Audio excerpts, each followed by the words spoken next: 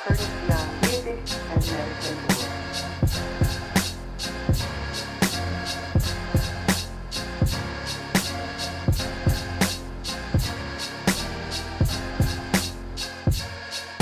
activates the stimulant, so I can actually take it, come down here, talk to you guys, drive, do work, talk to my kids, whatever it takes.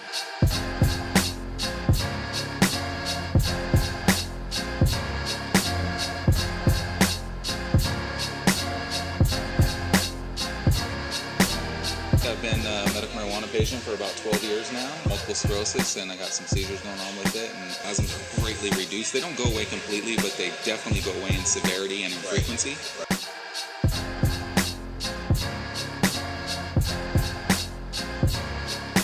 420. This is made with coconut oil. It's a tincture.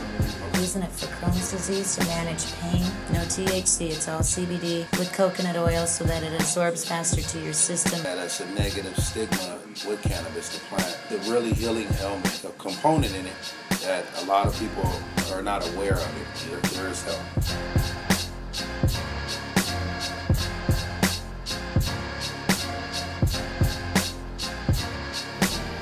So many terpenes in the plant. There's so many different ways in CBD, THC. There's different ways to use it, and the terpenes give it a lot of compounds that are essential essential oils that help with seizures, trying to find the right terpenes to match. You want to find different strains. I what works best for what?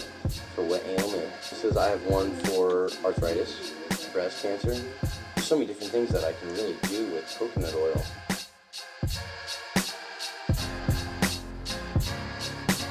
because I had a girlfriend whose father lived five and a half years longer than he was told he would with inoperable brain cancer due to cannabis 100%.